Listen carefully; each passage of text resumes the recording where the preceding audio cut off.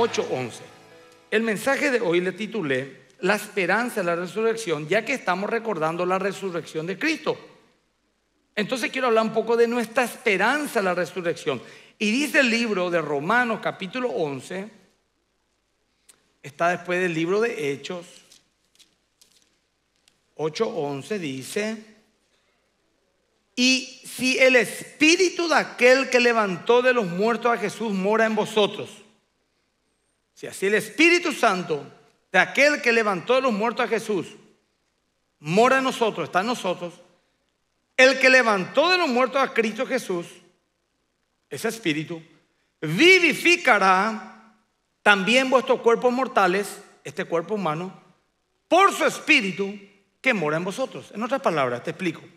Cuando una persona de verdad cree en Cristo y recibe como Señor y Salvador de verdad, así viene y dice, yo creo en Cristo, Él es mi Señor y es mi Salvador, punto, y cree. En ese instante recibe el Espíritu Santo, llore o no, se caiga o no, se ríe o no, salte o no, sienta o no, porque ya el mismo Espíritu le hizo decir que Jesús es el Señor. Ahora, ese tema de si habló en lengua o no, si se rió, se cayó, bueno, eso podrían ser manifestaciones, llenuras, es otra cosa. Pero en el momento en que vos creíste, en ese instante el Espíritu entró en vos. Sí, es que de verdad fue así.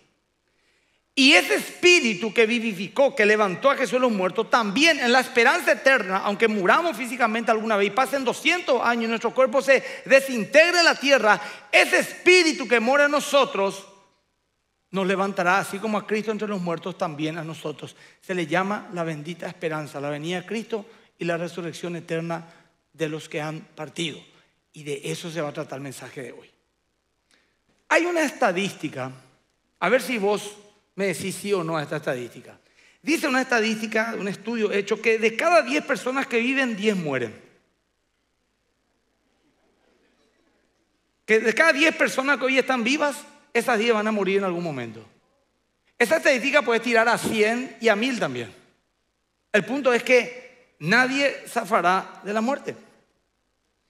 Si alguien dice que ayer estuvo cerca de la muerte, alguno dice, ayer estuve así de morir, así de, cerca de la muerte porque me rozó un auto, te dice. La verdad es que hoy, un día después de ese acontecimiento, sentado en la comodidad de su casa, está más cerca de la muerte que ayer cuando casi le chocó el coche. ¿Por qué? Porque ya un día menos ya. Cada día y cada hora que pasa, estamos acercándonos más a ese acontecimiento. Hoy vos estás más cerca de la muerte que hace una semana. Y hoy está una semana más lejos de la muerte que dentro de una semana. Ahora, lo único que nos separa de lo que estamos ahora acá, en esta sala, vivos, sanos, con proyectos, con ganas de vivir, de un velatorio. Lo único que nos divide es un frágil latido de un músculo del tamaño de un puño llamado corazón. Y la Biblia dice que cuando un creyente muere, su cuerpo va a la sepultura, pero su espíritu vuelve a Dios. No dice que el espíritu muere, sino que el cuerpo muere. Le preguntaron a un hombre muy ancianito, muy ancianito ya, ¿cómo está don? Le dijeron. Y él dijo, yo estoy bien. Lo que está muy mal es la casa donde vivo, dijo. Y evidentemente pronto tendré que mudarme de ella, pero yo estoy súper bien. Y había mucha sabiduría en lo que dijo el anciano porque él se refería a que él, él estaba bien, pero su cuerpo ya estaba muy maltrecho. De hecho, Pablo dice también que mientras el hombre exterior, su cuerpo físico se deteriora día a día, el interior se vivifica. Por eso cuando ve un anciano o una anciana llena de Dios y te saluda le dice, hola abuelita, y dice, hola chiquillo. Eh, no, es que ella es eso. Su cuerpo ya deteriorado nomás le impide que aflore ese volcán que tiene dentro. Porque su, su, ser interior está más y más vivificado que nunca, está lleno de sabiduría, de años de vida, de experiencia, de conocimiento. Es un experto en matrimonio, un experto en vivencia, un experto en trato, un experto en, cómo superar decepciones, un experto en vencer pruebas. El que está dentro de ese cuerpo achacoso no es un debilucho, es un volcán que si pones en el cuerpo un joven de 20 te va a conquistar el mundo, no va a cometer más los mismos errores que cometió, va a vivir la vida de una manera más intensa, va a valorar el día a día, el hora a hora, va a abrazarle como nunca a su madre que ya ha muerto hace muchos años. Va, a bendecirle a sus hijos de chiquititos porque ya han crecido. Es un, un volcán que está dentro. Así debería de ser. Para el creyente. Ahora, cuando Dios nos salva, nos salva. Más que, no hace nada más que rever lo que el diablo ya hizo en el hombre. Por ejemplo, sin Cristo, el hombre nace en inocencia, todos nacemos sin Cristo espiritualmente y en algún momento tenemos un encuentro personal con Él. Pero ese niño de no conocer a Cristo va a ir perfeccionándose en el pecado, en la dureza de su corazón. Y aunque sea un hombre, ponerle muy bueno, muy profesional, eh, puede ser un hombre hasta inclusive de un gran beneficio a la sociedad, su corazón, si no conoce a Cristo, cada día va a estar más endurecido con Él, con su Creador. Eso dice la Biblia. Pero cuando Dios nos salva, revé ese, ese, proceso de descomposición espiritual. ¿Y qué hace? Te empieza a santificar si realmente Cristo está en tu corazón. Empezás, por ejemplo, a tener más necesidad de saber de Dios. Querés congregarte, querés tener comunión con otras personas, tu misma fe. Te, te da ganas de orar, querés orar, necesitas orar, necesitas leer la Biblia, querés aprender más de Dios, querés predicar de Dios, querés servir a Dios tu vida moral, tu vida humana se va alineando a los designios divinos. Ya no pecas con libertad, si caes te sentís mal, si no lo haces, eh, tenés victoria y te gozás a pesar de que le robaste, entre comillas, un buen momento a tu cuerpo, ¿verdad? Porque el, el diablo siempre te dice que el pecado es un buen momento. Entonces vemos que el hombre o la mujer que conoce a Dios se va dignificando en Dios y vivificando en santidad. Así se espera que sea. Ahora, Dios está trabajando en los que le creen. No es que Dios está trabajando más en mí por ser el pastor principal de la iglesia que en un hermano que a lo mejor eh, hace una semana viene a la iglesia. No. No es que Dios está trabajando más en el Papa, un poco menos en los obispos y un poquito menos en los sacerdotes, por poner una comparación eclesiástica católica. No. Dios puede ser que esté trabajando menos en mí que en vos. ¿Por qué decir eso, pastor? Porque Dios trabaja en los que le creen. Y hay veces que inclusive el liderazgo puede estar en su fe atenuada. Y una ovejita común y corriente puede estar con toda la fe del mundo. Entonces, tu fe no tiene que aplacarse nunca ni ahogarse nunca, porque tu fe hace que Dios siga trabajando en vos, siga formando el carácter de Cristo en tu vida. Todas las circunstancias que vos vivas, buenas o malas, ayudan para bien, dice la Biblia, a los que aman al Señor, a los que le creen a Dios. Ahora, nuestro cuerpo físico no está aún redimido. Tendrá que morir y nuevamente resucitado, ahí será redimido. Y de eso quiero hablarles hoy. Recordamos la muerte y resurrección de Cristo. Quiero hablar un poco lo que la Biblia dice de nuestra esperanza eterna de la resurrección de los cuerpos. Y para ello me voy a ir a 1 Corintios 15, 35. Bueno, la verdad que vamos a mirar 1 Corintios 15 un ratito primero, más que el 35 específicamente. Abran en su vida en 1 Corintios 15. En todos los programas que me invitaron estos días y la oportunidad que tuve de dar un mensaje por Semana Santa, me dijeron, la pregunta fue en todo esto, ¿qué recordamos esta semana, pastor? ¿Qué recordamos? Escuchen, recordamos la doctrina fundamental de la fe cristiana, un hecho histórico y real, y real, histórico, literal, de la resurrección del Mesías de Israel, de Cristo Jesús, luego de haber sido muerto y sepultado al tercer día. Sin esto no hay cristianismo. Esto es mucho más que la Navidad, esto es mucho más que cualquier otra festividad que pueda haber. La resurrección de Cristo es la columna de la doctrina cristiana. De hecho, en 1 Corintios 15 dice el versículo 3, porque primeramente, dice Pablo, os he enseñado lo que así mismo recibí. Pablo dice, yo le he enseñado a ustedes lo que yo aprendí. que Cristo murió por nuestros pecados conforme a la Escritura, y que fue sepultado, y que resucitó al tercer día conforme a la Escritura, y que apareció a Cefas, que es Pedro, le nombra a él porque era un líder y respetado. Después a los doce, los doce quienes, apóstoles. Después apareció a más de 500 hermanos a la vez, de los cuales muchos viven aún y otros ya duermen. Como diciendo, si uno solo venía a decir no le vi a Cristo resucitado, podíamos dudar. Si vienen dos así, le vimos juntos. ¿Y cómo fue? Y fue una sombra ahí, una silueta que medio le parecía la noche. Bueno, entonces podemos dudar. Pero 500 personas no pueden tener la misma ilusión al mismo tiempo. Es imposible. Lo que Pablo le está diciendo, hablen con Pedro, muy respetado por ustedes, a ver si les miente. Hablen con los doce, hablen con 500, algunos murieron, pero otros viven, vayan y pregunten. Y luego dice, luego apareció a los demás apóstoles. ¿Quién los otros apóstoles? Los apóstoles de la iglesia, no los apóstoles de Cristo, los apóstoles de la iglesia. Y dice, y por último me apareció a mí como un abortivo. O sea, yo les testifico que a mí me pareció Cristo camino a Damasco, resucitado. Y luego dice el versículo 12, perdón, 12, pero si se predica de Cristo que resucitó de los muertos, o sea, se está diciendo, los apóstoles decían, Cristo resucitó a los muertos, Cristo resucitó a los muertos. La pregunta es, ¿cómo dicen algunos entre vosotros que no hay resurrección de muertos? ¿Por qué? Porque ya en esa época había gente que decía, esperan por gente, todo bien con nuestros pastores, pero nos predican algo muy totalmente loco.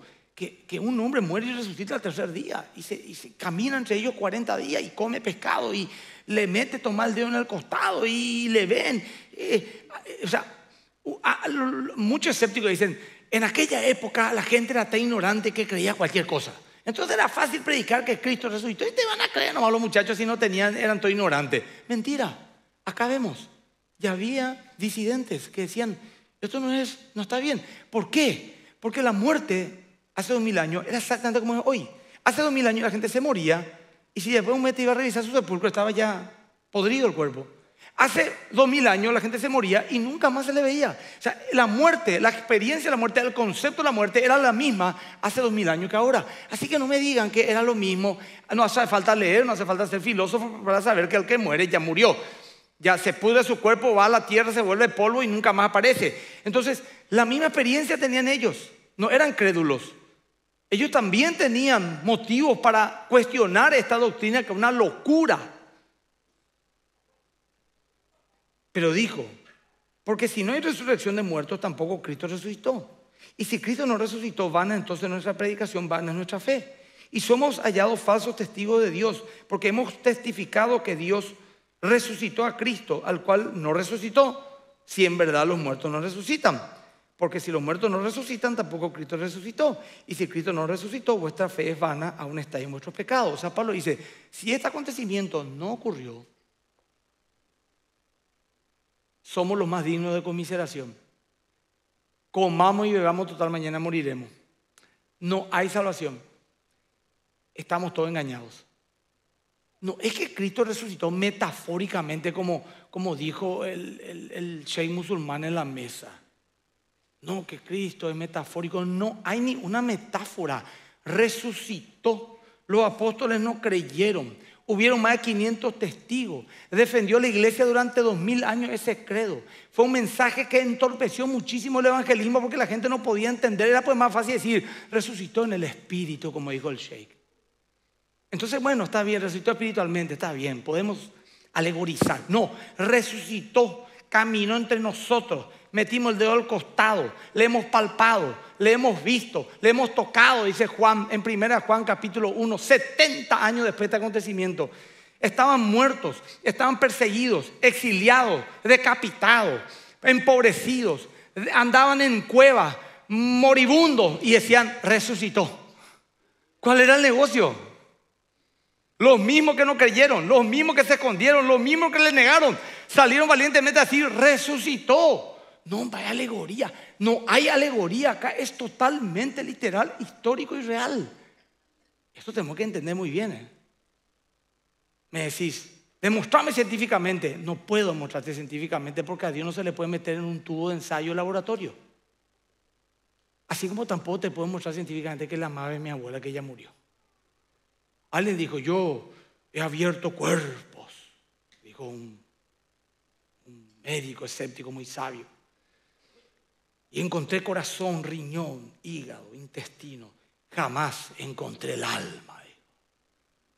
Entonces le dijo el, teólogo, yo también he abierto cientos de violines y nunca encontré música.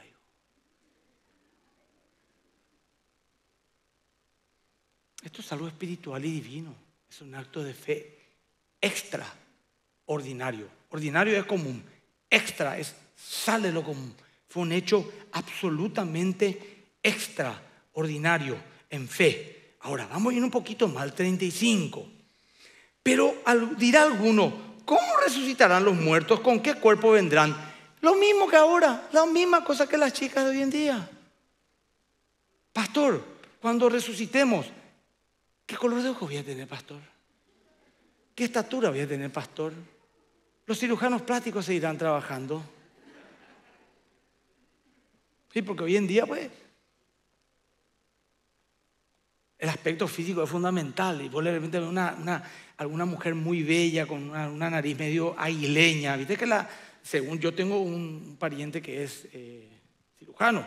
Y me dijo, lo que define tu personalidad y tu rostro es la nariz. Eso define tu personalidad. Y, la gente se toca su nariz. Yo de repente una hermana así, hermosa nariz así. De repente, ¡tic!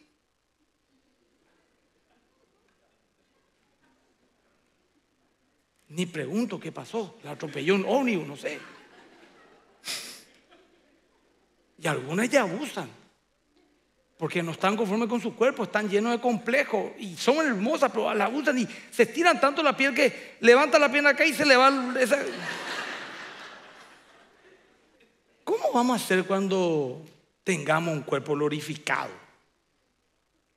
Interesante, vamos a mirar la luz de la palabra. Eh, algunos creyentes dirán que es difícil leer esto. Y yo lo que pregunto es, ¿por qué tiene que ser difícil creer que alguna vez resucitaremos? ¿Por qué? ¿Por qué? Y no, pastor, porque ¿cómo lo vamos a resucitar? Pero fíjate, me dice, vamos a suponer que un tipo se accidentó en, Sudáfrica y perdió una pierna. Y luego se fue a vivir a los Estados Unidos y ahí trabajando perdió otro brazo. Bueno, lo mismo decir que pobre tipo, que mala suerte tiene, pero no le pasó. Y después terminó viniendo a Sudamérica y murió de viejo. Y un pedazo que vaya otro allá y otro acá. ¿Cómo lo que va a hacer eso? Yo te digo una cosa, vamos a entrar por la ciencia ahora. Si vos tenés 10 años de edad, o 20 o 30, como veo que la mayoría tiene acá y un poco más, ¿vos pensás que tenés tu mismo cuerpo que cuando naciste o cuando eras niño? No. Todos tus átomos cambiaron totalmente ya. ¿Sabes cómo? Con la comida. Cuando vos comes y tu cuerpo absorbe el alimento, lo que está absorbiendo los átomos que van cambiando y mutando, pero mantienen una continuidad. Es algo asombroso. No tenemos más la misma piel de hace 50 años, 40 años, 30 años, 20 años, pero, pero es mi piel y yo sigo pensando y tengo la misma personalidad, pero mi cuerpo ya no es más, hablando técnicamente, los mismos átomos de hace 30 años atrás. Y la prueba es que una persona de 70 años en promedio comió 50 toneladas de comida en toda su vida. Puedo ir a pastor, es mucho. No, mira a tu alrededor un poquitito y te das cuenta que es una estadística válida. ¿eh? Hay gente que puede superar los 30 ese, récord, ¿verdad? Pero en fin, ese es otro problema. Son muy moleculosos. Pero la verdad es que nosotros no tenemos el mismo cuerpo. Y yo pregunto algo. Si yo le digo, a ver, eh, ¿vos crees en Dios? Sí. ¿Crees en el Dios bíblico? Sí. ¿Crees que Dios hizo los cielos y la tierra a la nada? Sí. Y si crees que Dios hizo los cielos y la tierra a la nada, ¿por qué no va a poder traer vida de algo? Por ejemplo, vos y yo somos seres vivos y pensantes, pero realmente venimos de la materia inerte y nuestro cuerpo es átomo inerte. No me pregunten ni cómo es eso porque mi, cabeza va a explotar. Pero hay una realidad, nosotros somos materia, ¿qué pensamos? O sea, una barbaridad. Y digo yo, ¿dónde está mi cuerpo hace 51 años? Pues yo tengo 50 años. ¿Dónde estabas vos hace 100 años? ¿Dónde estaba yo? ¿Sabes qué éramos?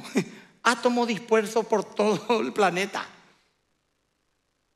Tremendo es. Y vos ahora estás vivo, tenés una unidad, tenés una individualidad, tenés un pensamiento, tenés un gusto, tenés un criterio, tenés un, tipo de ojo, un tipo de huella digital, una forma de caminar que nadie tiene de los 7 mil millones de habitantes que hay en la Tierra. ¿Qué es lo que te puede costar si la ciencia misma dice que podemos vivir solamente por la unión de átomos, que no sé ni cómo es eso? ¿Cuál es el problema para Dios que resucite a alguien que murió hace mil años? De hecho, este es un, es, una, es un argumento muy, muy válido. Cuando Pablo se encontró con el de Agripa en Hechos 26, 18, le habló de la resurrección de los muertos. Agripa, ¿qué cosa? Que vamos a resucitar. Pablo, las muchas letras te están volviendo loco. Le. No, pero eh, eh, Agripa, yo sé que vos sos creyente y que creen en la profecía, le dijo. Le embretó. Y después le hizo una pregunta. ¿Qué? ¿Juzga alguien entre ustedes que sea algo increíble que Dios resucite a los muertos. Si hay un Dios, Él puede hacer lo que quiere con quien quiere, como quiere. Y así como hoy estoy yo acá y tengo esta característica física, hace apenas 51 años no estaba acá, no había, no sé dónde está mi átomo, una parte estaba en alguna mandarina, otra parte estaba a lo mejor en el dedo gordo de mi papá, otra parte estaba en el ADN de mi mamá, otra parte en lo de mi en la tierra, ahí una planta que se plantó en el patio, comió mi mamá una naranja y ahí ese átomo entró en ella y parte de ese átomo después fue parte de mía. O sea, no sé yo. Yo lo único que sé es que hoy estoy vivo y vos estás vivo. Y así también alguna vez estaremos eternamente vivos en la presencia de Dios para siempre. Ahora, vamos a leer más. 1 Corintios 15, 36 al 38. Necio, ya se enojó ya Pablo. Lo que tú siembras no se vivifica sino muere antes. Y lo que siembras no es el cuerpo que ha de salir, sino el grano desnudo que ya, que ya sea de trigo o de otro grano. Pero Dios le da el cuerpo como Él quiso a cada semilla, sí su propio cuerpo. ¿Qué significa eso? Voy a agarrar una semilla, dice, de naranja, una semilla suave, blanquecina, con una suavidad fruto a lo mejor de algún gel muy, muy, muy delgado que recubre la semilla para mantenerla humectada. Vos tirar a la, tierra, la cerrás, después de unos días encontrar ennegrecida, encontrar agrietada, parecería podrida y muerta, pero de ahí va a salir una vida nueva. Así también dice que cuando el, el cuerpo muera, es una semilla que después me revisa y está podrido, pero de ahí va a salir vida alguna vez en esperanza. Es por eso cuando yo me voy, vos viste las plantaciones de eucalipto, ve así todo alineado, ¿verdad? Yo me voy por ejemplo, a un parque Serenidad cuando me toque un velatorio y miro así los, las placas de los... Yo digo, bueno, acá hay una plantación perfecta, mira, acá todo así está alineado, las placas de los difuntos hasta el fondo. O esos cementerios americanos, los soldados, viste las crudas. Eso estoy de plantaciones. Así como eucalipto, como naranja, como manzana. Todo eso va a resucitar. Locura para el que se pierde. Poder de Dios para salvación de aquel que cree. Yo creo eso. Ahora, vamos a continuar un poquitito más. Pablo pone como ejemplo la semilla. Se entierra, se pudre, se descompone, sale vida. Cuando muere, mata, solo, o sea, cuando la muerte mata, solo sabe qué está haciendo, sembrando semilla. Ahora, cuando Dios nos resucite, será en un cuerpo glorificado. No será más el mismo cuerpo que hoy tenemos, sujeto a cansancio, hambre, enfermedad, dolor y muerte. Será un cuerpo eterno, perfecto, glorioso, sin pecado, sin enfermedad, que nunca más verá la muerte. Eso dice la Biblia y yo lo creo porque Dios dice. Y yo como creo en Dios, creo que Dios dice la verdad. Y así como la vida hoy física es un milagro increíble. Hace poco la ciencia dijo que muy probablemente no hay vida en ningún lugar del universo, en base a estudios científicos. Muy probablemente no hay vida en todo el universo. Y vos dirás, pero pastor, ¿no te parece demasiado grande el universo como para que en un planeta microscópico habitemos nosotros solamente? Y yo le dije, en una radio fue esta, te admito que, que si todo el universo es solamente para que nosotros habitemos, es como un hotel de mil millones de habitaciones con una sola pareja. Pero si el universo no fuera para que nosotros habitemos, ¿Y si el universo fuera para mostrar la gloria de Dios? Entonces es chiquitito el universo. Porque el universo está para mostrar la gloria de Dios. Entonces toda infinitud queda chica ante esa inmensidad. ¿Entendiste, hermano querido? Así cuando alguien te dice como un argumento para decir, tiene que haber vida en nuestro planeta, sí habrá ángeles. Ese tipo de vida puede ser que haya. Pero ser así como alguno, así, cabezones, así, con un ojo, bueno, muy parecido, ¿verdad? No. Eso no creo verde, eso no, no, no creo. Admito que el aspecto más uno me hace dudar el reptilianismo, ¿verdad? Que hay extraterrestres entre nosotros. Pues. El molde del hermano ahí cuando se va, cuando viene a entender, va o viene, cuidado, decir. Se da vuelta así y es la misma forma, un rombo. Pero yo no creo. Ahora, el verso 38 dice, eh, yo, perdón, 38 dice, pero Dios le da el cuerpo como Él quiso y a cada semilla su propio cuerpo. ¿Qué significa esto? Que seremos personas absolutamente únicas, según lo que Dios quiera. No nos pareceremos en nada a otro. No va a haber gemelo, no va a haber parecido, no va a haber, pues es una nariz igualita la nariz del otro. Vamos, absolutamente único e irrepetible. No seremos una masa sin individualidad, como dice el budismo, por ejemplo, que seremos parte de un éter enorme. No, no, no. Nosotros vamos a tener un cuerpo limitado en el sentido que un cuerpo así como hoy en día, vamos a tener un nombre, no es que vamos a llamar, hay mil Carlos, mil Emilios, no. Nos vamos a llamar con un nombre que es el único nombre. Vamos a tener un aspecto que es el único aspecto y vamos a tener una gloria que será única e irrepetible. No va a más envidia de que aquel es alto y aquel es gordito y aquel es flaco y aquel mira sus bíceps. No, esa, esa carnalidad ya no va a haber. Vamos, miramos y qué gloria tiene aquella persona. Pero mi gloria es totalmente distinta a la de ella, pero es igual de inmensa como aquella. Va a ser algo que, a lo mejor nosotros no nos podemos imaginar. Ahora, somos diferentes en gloria y eso dice el versículo 41. Una es la gloria del sol, otra la gloria de la luna, otra la gloria de las estrellas. Pues una estrella es diferente a otra en gloria, es lo que acabo de decir, da un ejemplo hasta lo humano. O mirar el sol, qué gloria tiene el sol. O mirar la luna, es algo tremendo la luna. Y las estrellas, cada una, nadie es igual a otra en tamaño, en consistencia, en nada. Así también serán los cuerpos de los hombres y las mujeres, que de hecho no va a haber hombre y mujer. Para la Biblia no hay eh, un espíritu femenino y un espíritu masculino. Vos sos mujer o hombre solamente por tu cuerpo, que es lo que te define. Pero en tu esencia, vos no sos ni mujer ni hombre, ni yo tampoco. Nuestro cuerpo es lo que nos define como hombre y mujer. Nuestro espíritu es asexuado. Por eso dice, no podremos casarnos ni dar un casamiento, ni reproducirnos. Seremos como los ángeles asexuados. Así que ese tema de que soy hombre o mujer no te hace ni más ni menos por ser hombre o mujer, es porque Dios en su designio decidió que tu espíritu sea encarnado en un cuerpo femenino y otro en un cuerpo masculino, y así funciona, nos reproducimos para tener un cuerpo humano, para habitar a alguien dentro, un espíritu vivificante, pero eso en el cielo ya no será así. Nos habla de diferentes tipos de gloria del cuerpo. Hay cuerpos celestiales, cuerpos terrenales pero una es la gloria de lo celestial y otra es la gloria de lo terrenal. ¿Qué significa eso? De que nuestro cuerpo aún caído tiene una gloria. Nuestro cuerpo tiene una gloria. Nuestro cuerpo es maravilloso. Nuestra capacidad de pensar, cómo vemos. Por ejemplo, yo perdí con el COVID el sentido del olfato. Hasta hoy día no huelo bien. Algunas cosas huelo.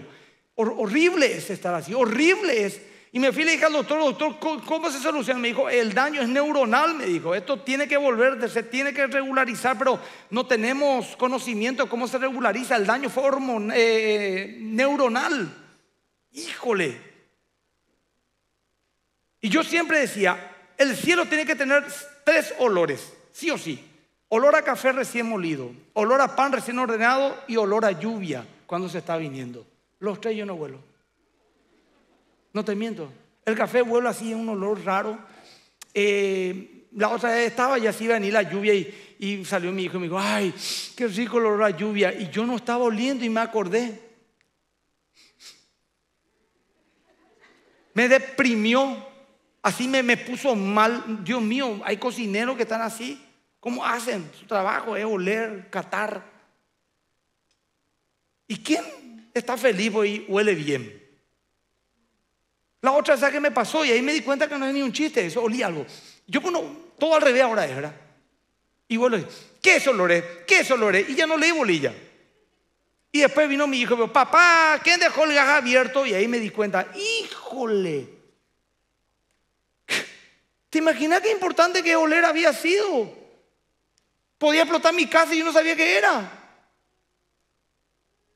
Nuestro cuerpo es glorioso, es maravilloso. Tenemos una gloria enorme. ¿Cómo funciona nuestro organismo? Los, médicos, los biólogos sabrán admirar aún más esta gloria. Y muchos tienen hasta una gloria física en el aspecto de la belleza. Hay gente que es muy linda, muy simétrica, muy llamativa, muy carismática cuando camina, cuando habla. Otros somos un poquito menos afortunados, pero tenemos también nuestra gloria. Somos simpáticos. Algo hay que hacer, o si no, nos quedamos todos solos. Yo me pasaba contándole chistes a mi esposa. Sí, y otro, y cuando se iba a despertar, y otro, sí, y, y le puse la niña, ja, ja, ja, ja, y ya le dejé contar chistes, pues ya entró ya. Se me despertó tarde. Sí, porque no tenía otra forma, si no, ¿cuántos churros hay por ahí? Bueno, a la tarde vienen algunos, no. ¿Tenemos una gloria? Sí tenemos una gloria. Claro que tenemos. No vaya a desmeritar lo que Dios te dio. Porque, o sea, lo que es sentir la brisa. una mosca se te posa y vos, así, la información, ¡pac! Qué, glorioso, es tremendo. Hay una gloria, pero la gloria del cuerpo glorificado será inmensamente superior. Podemos especular. No va a envejecer, no va a envejecer tendremos los sentidos absolutamente despiertos, tendremos, es más, tenemos otras capacidades, posiblemente podamos cruzar espacios siderales para conocer toda la gloria de Dios en el universo. Eh, Jesús nos dio, por ejemplo, Jesús con su glorificado comió. Buena noticia para los comilones. En el cielo aparentemente comeremos, cosa que es fantástica, a mí me encanta comer. Lo otro no, pero muchos los ya hace años están ya preparados para ese momento. No pasa nada. Pero vamos a atravesar a lo mejor objetos físicos. Jesús aparecía, desaparecía. Dice, me voy al Padre y vuelvo, no me toque. Así que él evidentemente podía entrar en diferentes dimensiones. Yo no sé cómo va a ser eso, pero será algo glorioso, solamente para disfrutar lo que realmente Dios nos dio. Eh, ahora, no, no veremos muerte. Seremos perfectos. El versículo 42 dice, así también es la resurrección de los muertos. Se siembra en corrupción, resucitará en incorrupción. ¿Qué significa esto? De uno habla de la resurrección. O sea, primero morimos porque nos corrompemos, nos pudrimos físicamente. Así es sembrar esa semilla, pero resucitaremos en un cuerpo incorruptible. O sea, que nunca se pudrirá ni corromperá. El versículo 43 dice, se siembra en deshonra y resucitará en gloria. Se siembra en debilidad resucitará en poder. Claro, ese se siembra, habla cuerpo físico, en deshonra y en qué? Y en debilidad se siembra. O sea, morimos en deshonra en debilidad. ¿Por qué en deshonra? Porque es deshonroso. O sea, por más bella que sea una persona, por más plena que sea una persona, muere y a los un mes no es nada agradable ir a mirar el cuerpo. Y se siembra en debilidad. Yo ayer estaba jugando padre con mi hijo, con Emilio, y, y tiró así, y hice así, track, ya me quedé acá. Una humillación. Él vino corriendo, saltó así en tijera, no sé qué ahí. Y yo me quedé ya. A. De acá un mes vamos a hablar. Así no dice. Troz, dijo acá. Acá. Humillante. En humillaciones. Y ahí le dije, no, yo antes peleaba, no me dolía nada. No, mi hijo, vení te cuento, yo ligazo low aquí en la pierna y salió. ¿Qué te pasó? No, nada, papá. Eh, y vino la empleada y es odio esa palabra, esa, eh, don, eh, don, don eh, siéntese acá, amigo. Eso no te dice don ya, monte. Así ya, ya fuiste, ya o doña o que te. Olvídate ya. Así es irreversible ese proceso. El día que dijeron don o doña, pasaste a otra etapa de tu vida. Ahora, ¿Es un cuerpo que se deteriora? Sí. ¿Es humillante? Sí. es corrupto en el sentido de podredumbre. Eso viene la corrupción. ¿Podredumbre? Sí. El 43 nos dice que moriremos en deshonra, en debilidad, porque la muerte corrompe los cuerpos. Entonces, al sembrar un cuerpo débil como el nuestro, como una semilla resucitará un árbol. El versículo 44 dice, se siembra cuerpo animal, resucitará cuerpo espiritual. Hay cuerpo animal y hay cuerpo espiritual. ¿Qué es lo que es el cuerpo animal? Significa que nosotros tenemos un cuerpo animal. La ciencia de misma dice, ¿verdad? Nuestro cuerpo es de un mamífero. Agarra cualquier mamífero del mundo. Tal vez la excepción más o menos serían los delfines, las ballenas que son mamíferos. Para aquellos que no saben, no nacen de huevo como los otros peces. Ellos respiran, tienen pulmón, por eso salen afuera y tiran acá por su nariz y entran cuatro horas ahí y salen a respirar. Para algunos si no sabían, tienen sangre caliente, maman, toman leche. Pero por ejemplo un gato, un perro, un caballo, son mamíferos, igualito nosotros. Tiene pulmón, tiene riñón, tiene ojo acá adelante, tiene su nariz acá, tiene su oreja al costado. Somos, tenemos un cuerpo animal, pero vamos a resucitar en un cuerpo espiritual celestial, como estoy describiendo. Ahora, en el verso 49 nos dice algo interesante, voy a ir rapidito, perdón. 49, eh, sí. Dice, y así como hemos traído la imagen del terrenal, también traeremos la imagen de lo celestial. Fíjate qué interesante. Vos y yo tenemos semejanza de Adán, de Adán, de Adán y Eva. Vos yo somos, si yo te miro a vos y me mostras tus padres biológicos, vas a tener características de ellos. Tiene la nariz de la mamá, camina como el papá, tienen el mismo molde que el, que el abuelo. ¿Por qué? Porque hay una genética que nos hace ser parecido a aquellos que nos engendraron. Pero en lo espiritual les pareceremos, el otro cuerpo será parecido a Cristo. No vamos a tener este mismo aspecto. O un poquito más la nariz, esa que ya dentro de poco nos va a mantener y ahorrate plata. Porque vamos a ser distintos. Vamos a ser distintos. Vamos a ser perfectos. Esto tiene que ser mucha esperanza para mucha gente. Filipenses 3:21, ¿qué dice? Filipenses 3:21.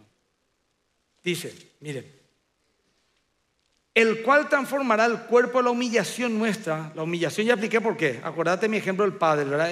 humillante como el hombre va deteriorándose. Y el cuerpo como queda compuesto.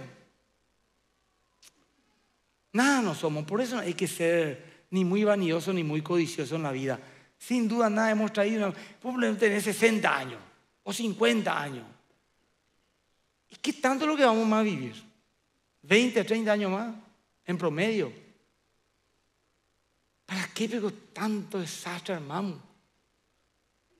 O sea, sí, progresar, trabajar, pero no vaya a ser el mal a los demás. ¿Qué es lo que va a llevar? ¿Qué es lo que tanto la vida es tan fugaz? Eso también en el programa hablamos ayer con, eh, la otra vez cuando hablamos con Mina, que ganó esta noche. Dijo, ¿ustedes creen que si alguien, por más malo que sea, que se arrepienta un minuto antes de morir, se puede ir al cielo? Y todos dijimos que sí. Pero yo quise hacer una aclaración. Dije, bueno, mira, técnicamente sí, sí, es un arrepentimiento sincero. Pero yo dudo mucho ese arrepentimiento a los 45 minutos del segundo tiempo. Porque ahí el que te venga a decir algo ya, con tal de que aceptar todo lo que haya, ¿verdad? Ya. Y ahí dijo el rabino algo muy interesante. Dijo el rabino, eh, sí es cierto lo que dice el pastor, dijo.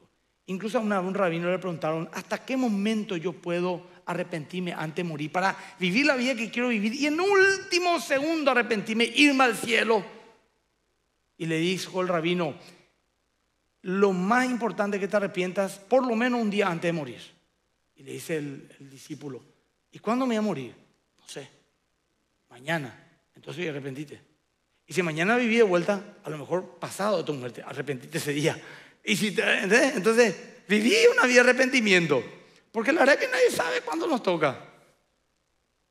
No, no, es que el más viejo se va a morir más pronto que el más joven. Los viejitos se cuidan. No se quieren lesionar, no juegan más pádel, no. Los jóvenes creen que el mundo está por delante, andan como... Vos cuando ves esa moto así a la madrugada, así... No sé, va un señor de 90 años ahí. No, no se va una mujer de 75 con su marido de 84, no.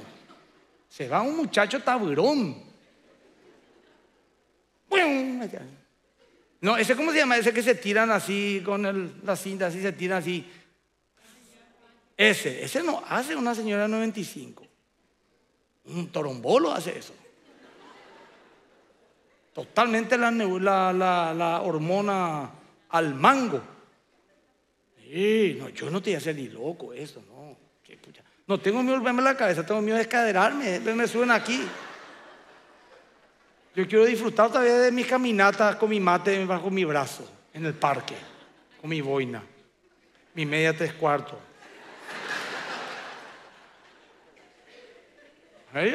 Nosotros, yo con 50 años tengo más probabilidad de vivir que uno de 20 ahora. Ojo, no, ya no lo quedo más. Hace rato la testosterona me bajó todito ya. Ahora ya sí, nomás ya. Hoy tuve un buen día. Me fui bien al baño. ya bien. Bueno, está bien, pero esa es otra cosa. Lo de mi generación nos juntamos a hablar después, ¿verdad? Ese es mi... Gloria a Dios.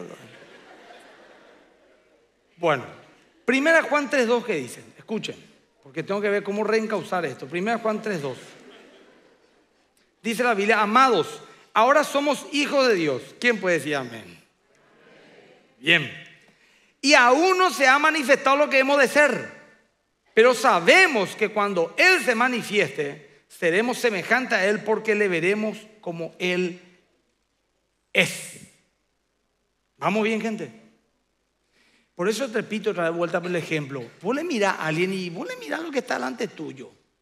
Pero sinceramente no sabés lo que Dios tiene escondido dentro de esa caja temporal llamado cuerpo humano. Su esplendor. Dios conoce los corazones, su gloria. Y como te digo, esas viejitas que apenas se mueve, mujeres y hombres de fe, que apenas te hablan, le tienen que ayudar para sentarse. Ese es un engaño. Es el cuerpo caído nomás lo que le tiene así. Te repito, adentro hay un volcán. A esa mujer, a ese hombre le pone con una edad de 25 años y te vive la vida, pero en serio te vive la vida. Y no porque farré ni nada, te va a comer bien porque sabe que le hace bien y mal. Va a disfrutar de su matrimonio porque sabe que alguna vez queda viudo o viuda. Va a disfrutar de su hijo pequeño y va a romper a hijos ¡ih! porque sabe que el día de mañana puede romper el coche, entonces hay que disfrutar de este momento.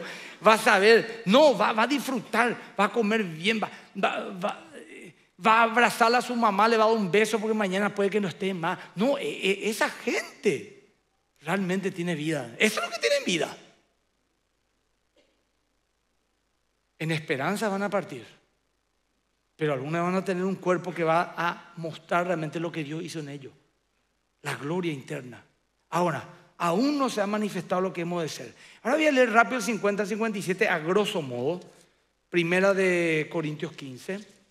A grosso modo te voy a leer, porque viene muy, muy al, momento que estamos viviendo hoy, lo que recordamos. Dice el versículo 50, 1 Corintios 15, 50. Pero esto digo, hermanos, que la carne y la sangre no pueden heredar el reino de Dios, ni la corrupción hereda la incorrupción. ¿Qué significa esto? Que nuestro cuerpo humano tiene tanta imposibilidad de estar delante de Dios y seguir vivo, como tenemos imposibilidad de llegar hasta el sol y tocar su superficie. Millones de kilómetros antes nos extinguiríamos. Y dice que mayor es la gloria de Dios que la gloria del sol. Es absolutamente imposible. Así como tu cuerpo, por ejemplo, humano, así, si vos estás con tu ropa puesta, te llevo a la luna, te morí en un segundo. Porque necesitas un traje especial que te guarde la presión, el oxígeno. Tu cuerpo no está preparado para ese tipo de cuestiones, ¿verdad? O si te sube un avión de guerra que anda más allá de la velocidad del sonido, con tu ropa puesta te, te morís. Un cadáver van a retirar ahí de- después de una vueltita por, por la manzana. Porque las velocidades, los cambios de direcciones, la presión distinta, sube, baja, tu cuerpo no está preparado. Así tampoco estamos preparados para ver la gloria de Dios. Dios tiene que revestirnos de una gloria preparada para poder ver su imagen. No hay hombre que mira a Dios y viva, decía el profeta. Se muere. Entonces Dios tiene que transformar este cuerpo. Son misterios espirituales que Pablo nos da. Antes de esto nadie sabía nada. Fue una revelación que Dios le dio a Pablo. Y dice, pero esto digo hermanos, que la carne y la sangre no pueden heredar el reino de Dios, ni la incorrupción hereda la corrupción. Ni la corrupción hereda la incorrupción. He aquí, os digo misterio, un misterio porque nunca antes se supo. No todos dormiremos, moriremos, pero todos seremos transformados. Habla del arrebatamiento. Mira, en un momento, en un abrir y cerrar de ojos, en la final trompeta, porque se tocará la trompeta y los muertos serán resucitados incorruptibles y nosotros seremos transformados. Porque es necesario que esto corruptible, el cuerpo humano, se vista incorrupción y esto mortal se vista de inmortalidad. Y cuando esto corruptible se haya vestido de incorrupción, esto mortal se haya vestido de inmortalidad, entonces se cumplirá la palabra que está escrita, sórbida es la muerte en victoria. ¿Dónde está el sepulcro, o muerte tu aguijón, y dónde está el sepulcro tu victoria? Ya que el aguijón de la muerte es el pecado y el, poder del pecado la ley. ¿Cuál es el punto acá? Aquí Pablo explica del por qué esta enseñanza. No, es para que nosotros sepamos qué color de ojo vamos a tener. Es para que, no es para aumentar nuestra vanidad. Es para algo que voy a leer un rato más. Aquí lo que está hablando es del arrebatamiento o del rapto de la iglesia. Es un acontecimiento futuro. Los que están muertos están muertos. Ellos están esperando. Pero si nos tocase a nosotros esa época o a los que le toque, en un momento su cuerpo físico, aunque no haya muerto, se transformará y se irá. Ahí empieza el, drama en serio. No, no, es que COVID, el COVID es una de las plagas Apocalipsis. El COVID no es nada. Murieron 8 millones de personas. En el Apocalipsis habla de hecatombes que matarán un tercio de la humanidad. Dos mil millones si fuera ahora. De una. Vendrá guerra, dice. Y después, lógicamente, hambruna. Allá nomás hubo una invasión de un país a otro en Europa del Este, el mundo entero subió el combustible. Eso no es culpa de un gobierno de, Alex San Pedro dijo, a usted también le ha subido el combustible. Sí, a todo en el mundo entero, en el mundo entero. Subió el combustible, suben los alimentos. ¿Por qué? Por el transporte, el trigo, que esto, que aquello. Sube el costo. Y la gente hoy, que antes comía cuatro al día, come tres. Y otros que comían a lo mejor tres platos, come un plato y medio. Pero cuando eso ocurra, va a ser totalmente distinto a lo que vivimos. Va a ser algo, dice, ocurrirán pronto. Pronto diga que uno tras otro, uno tras otro. La gente dice, salimos de una pandemia y ya estamos en una guerra. Bueno, sí, el mundo sí, pero nosotros no. Lo que están pasando las masas son allá. Nosotros estamos ya sin tapabocas. Vamos a comer rico. No tenemos miedo que una bomba nos caiga encima. Esto va a ser el mundo entero. No va a haber un lugar donde escapar. Vamos a los montes, vamos acá. Si el arrebatamiento fuese hoy, por lo menos la mitad se va a ir. Por lo menos digo la mitad, porque dice, si dos están en el campo, uno se arrebató, el otro quedará. Si todos están en la cama, uno se irá. Entonces quiero creer en fe que un 50% se irá. Se transforma. Y los que quedan dicen, no te vayas ni a tu casa a traer ropa. Huí, corre, porque ahí va a salir en Twitter, alerta, alerta, alerta, todos los que hablan, alerta, alerta, alerta. Va a surgir un líder después de un problema, va a haber una aparente paz, tres años y medio y después empieza. Hecatombes, maremotos, terremotos, guerra, hambruna, violencia. Se va a destrozar la humanidad. El juicio de Dios dice. Y ahí dice el que permanece, el que perseverará hasta el fin, ahí está el que perseverará hasta el fin, será salvo. Así que mantengámonos en vigilia porque no sabemos el día ni la hora. Vendrá como ladrón en la noche y si nadie avisa qué hora entrará un ladrón. Ahora, ¿para qué esto, pastor? ¿Para darnos miedo? No. ¿Para qué esto, pastor? ¿Para aumentar mi vanidad por el cuerpo que voy a tener? No. El versículo 58 te dice, así que, hermanos míos amados, estad firmes y constantes, creciendo en la obra del Señor siempre, sabiendo que vuestro trabajo en el Señor no es en vano. Esta palabra que hoy te he enseñado, a grosso modo, es para que te mantenga firme y constante, creciendo en la obra de Dios, para que te acuerdes y sepas que tu trabajo en Dios no es en vano. Que todos los días, así como estamos preocupados por depositar un dinerito en nuestra cuenta corriente, tratemos de depositar algo en la cuenta del cielo. A alguien le hice una caridad, a alguien le hablé de Cristo, a alguien le perdoné, formé mi carácter en un área, di la otra mejilla en la otra, callé ante la ofensa, eh, caminé mi milla de más, serví al afligido, eh, oré, porque la oración es un ejercicio eterno, leí la palabra, medité en ella, enseñé a otro, abrí un grupo hogareño, serví en un área de la iglesia, me congrego, eh, puse un versículo bíblico en mi muro de Facebook, a alguien le prediqué de Cristo.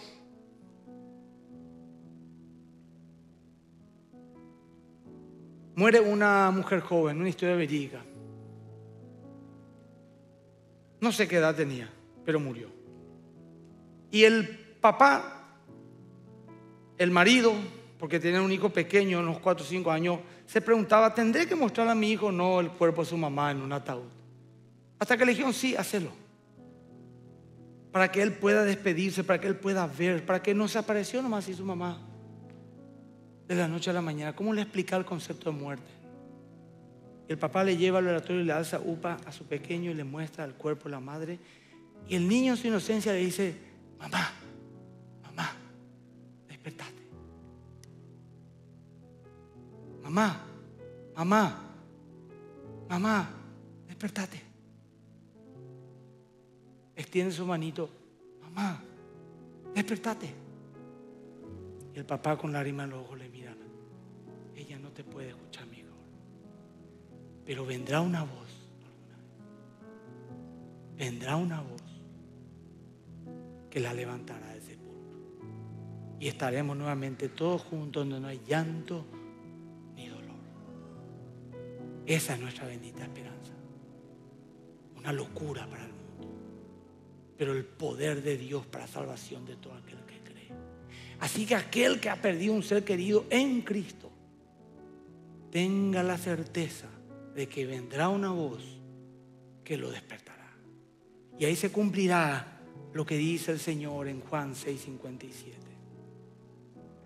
Aleluya, gloria a ti, Señor. Por eso que le pedí a Laura, y vamos a cantar entre un rato, Laura, esta música que me vino este jueves santo, cuatro velorios. Murió el padre de una hermana de la iglesia, murió la madre de una hermana de la iglesia, murió un bebé recién nacido. Fue un día un poco especial ese jueves. Y me vino esta música. Porque Él vive, triunfaré mañana. Y Jesús dijo en Juan 6:57, como me envió el Padre viviente, y yo vivo por el Padre, asimismo el que me come, Él también vivirá por mí. ¿Comer qué significa? Hablaba de la cena del Señor, el comer el pan y el vino, que representa su cuerpo y su sangre. En otras palabras, el que cree en mí, el que cree en mi sacrificio, no morirá. Como suelo usar siempre en los velatorios, cuando Jesús le dijo a María y a Marta, el que cree en mí, aunque esté muerto, vivirá. Y aquel que vive y cree en mí, no morirá eternamente. Y dije Juan 6:57, una hoja antes, ¿cuál es la voluntad de Dios, Señor? En Juan 6:40, ¿cuál es la voluntad de Dios, pastor? Acá está la voluntad de Dios y esta es la voluntad del Padre que me ha enviado. Que todo aquel que vea al Hijo y cree en Él tenga vida eterna y yo le resucitaré en el día postrero. Nuestra bendita esperanza. La última batalla que todos libraremos será la de la muerte. No hay hombre ni mujer, por más espiritual que sea, que si se enterase de su muerte, la reciba como si nada. Muy poca gente, según la estadística, muy poca gente muere sin darse cuenta que murió. Por ejemplo, un paro fulminante, ¡ah! muere. O muere mientras duerme. O un accidente catastrófico que estaba caminando. O un balazo que le dio en la cabeza. Y, pero la absoluta mayoría de los seres humanos, por lo menos minutos antes, tomamos conciencia inminente de nuestra muerte. Y ese es el umbral, esa es la brecha. Ese es donde el Señor dice, cuando pases por las aguas, yo estaré contigo. Esa será nuestra última prueba. Hay gente que entera mucho antes, tiene una enfermedad terminal y ya se va dando cuenta que la cosa, ¿no? Y, y aunque vos no creas son los más privilegiados, pues tienen tiempo de ordenar su vida. Aunque pocos quisieran saber que van a morir, pero pero hay una esperanza. Y yo quiero que te vayas con esta conciencia. Hoy no es más Pascua. No, hoy es la esperanza del hombre. Pablo dijo, si Cristo no resucitó, van a nuestra esperanza. Pero si Él resucitó, todos resucitaremos. La muerte sórbida es en victoria. No hay más velatorio. Alguna vez, una locura. Así, yo me imagino, si pudiésemos imaginarnos esto, 200 años atrás, decir a un montón de moléculas, mi molécula le dice a la molécula a ustedes, alguna vez vamos a ser un cuerpo, tendremos vida, tendremos conciencia. alguna vez. Pero ¿cuánto? Hace miles de millones de años ya empezó el mundo y todavía no, no me engendraron. Y esperamos. Y el Señor determinó que en 1970, 1980, 1990, 1960 ocurra ese milagro y venga la vida. Así será morí acá, será tu ojo acá, abrí tu ojo allá. Esa es nuestra bendita esperanza.